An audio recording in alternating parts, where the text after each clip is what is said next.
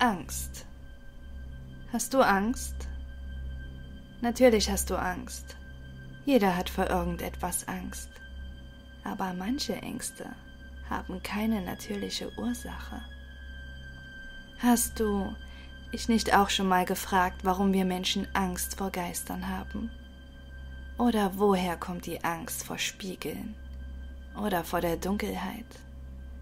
War es nicht vor ein paar tausend Jahren normal, dass der Mensch in der Nacht völlig im Dunkeln hauste?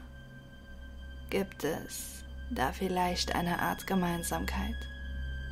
Die gibt es tatsächlich. Spiegel sind nur unheimlich, wenn es dunkel ist, und Geister sollen auch nur nachts aktiv sein. Hast du schon mal bei Dämmerlicht in einen Spiegel gestarrt, ohne zu blinzeln? Wahrscheinlich nicht.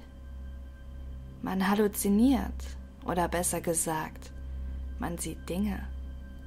Und ab und zu, nur ganz selten, sieht man sie. Schwarze Gestalten hinter oder dicht neben einem selbst.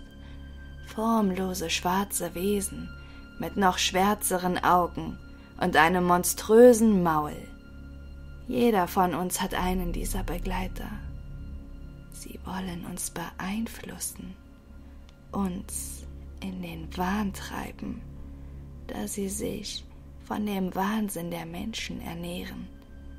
Aber die meisten von uns bemerken ihren Einfluss gar nicht oder nur geringfügig.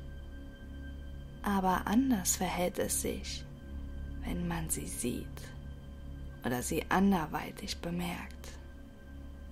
Dann wollen sie dich davon abhalten, das Geheimnis ihrer Existenz an die Öffentlichkeit zu tragen und verstärken die Dosis ihres Einflusses auf dich. Die Menschen, die ihren Einflüssen zum Opfer gefallen sind, wurden Soziopathen oder Psychopathen.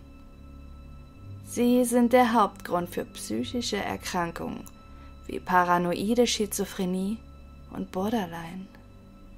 Man wird zu einer verzerrten Karikatur seiner selbst und das nur, weil sie zu lange und zu oft in den Spiegel gestarrt haben. Aber ganz ehrlich, so ein bisschen wahnsinnig sind wir doch alle, oder? Haha. Wir haben aufgehört, nach den Monstern unter dem Bett zu suchen, als wir merkten, dass sie in uns sind.